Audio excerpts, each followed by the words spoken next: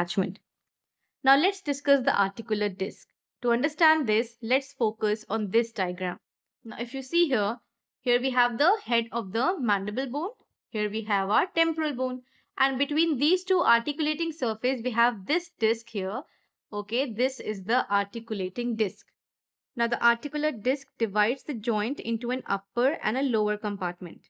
The upper compartment permits gliding movement and the lower compartment allows rotary as well as gliding movement. Remember this.